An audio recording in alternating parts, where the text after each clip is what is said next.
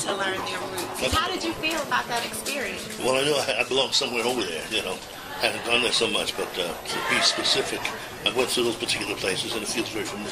And those particular people feel very familiar. Now, and what were your results? Uh, it was uh, it was Liberia, and it was the the Ivory Coast, Senegal, Sierra Leone. Sierra Leone Yeah. area, you know. Yeah. And Sierra, those people really look like my family. Really? Yeah, they do. Now, had you been there before? I've been to Senegal before. This is- comes from Senegalese tailor, by the way.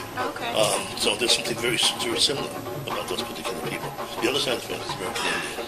Oh, so you knew that. How'd you know that? Well, I had a great grandmother who was 112 when she died, more or less. Wow. She told us So stories. she was able to pass on the story. Yeah. Where was she from?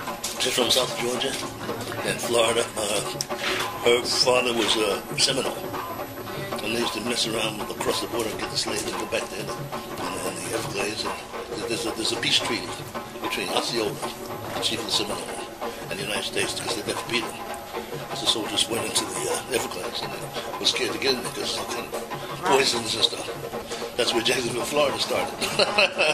And so, what, how do you feel about the, the telling of this story? We were talking earlier, and you said it's a story that needs, or information that needs to Oh be shared. Oh, boy, we need to. Our, our people, especially our young, but all people need to know everything about everyone. We're going to be diverse in this country, and you, we can stand here and talk about Napoleon and uh, Alexander the Great and the Romans, but we don't know about our history, which is quite rich. It's a device used when you want to control the people years ago, but now what, the conditions are different today, so we need to play catch up and get all those stories done. Very good. Well, thank you. I'm glad you're a part of the African Ancestry Well, thank family. you. All right.